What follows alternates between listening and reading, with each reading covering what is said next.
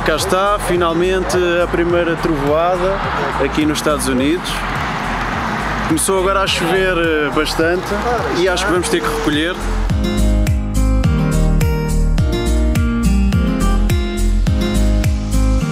Olá pessoal, novamente.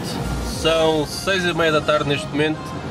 Saímos à uma da tarde do, do hotel, depois de almoçarmos. Uh, e ainda não paramos, temos andado aqui para trás e para a frente. Estamos aqui numa estrada pouco habitual no centro dos Estados Unidos da América, muito bonita por acaso, mas uh, vamos ao encontro de uma tempestade não muito severa, mas uh, pelo menos vamos ver se apanhamos alguma trovoada durante esta noite.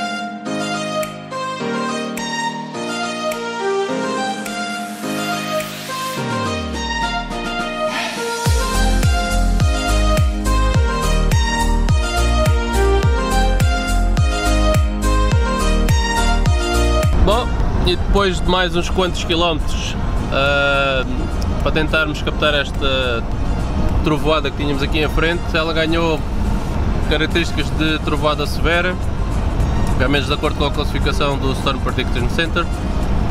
No entanto, quando chegamos ainda dá para fazer algumas filmagens, mas não aparentava assim nada de muito severo. Algumas estruturas uh, interessantes, algumas mamatos, Deu um pôr eh, do sol é engraçado, fazendo aqui algum, algum time-lapse. Mas pronto, foi o que deu.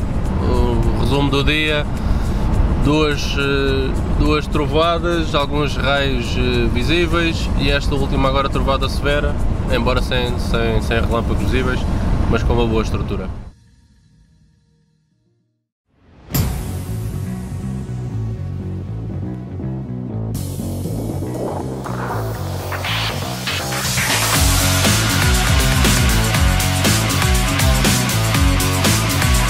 Não é verdade? Delas, ali trovada, ali de sudoeste.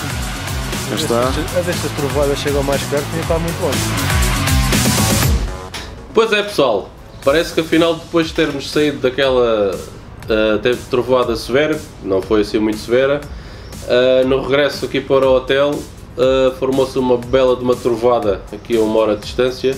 A trovoada tinha uma boa cadência, houve uma altura que tinha ali um 2 por segundo ou 1 um por segundo foi um, já foi um dia que excedeu uh, as expectativas, portanto já, já ficamos todos um bocadinho mais animados. Não contávamos com nada. Agora vamos ver os próximos dias o que é que, o que, é que Hoje vai ser calminho, que é que mas amanhã, amanhã aqui no norte do estado de Missouri é capaz de poder haver alguns surpresas.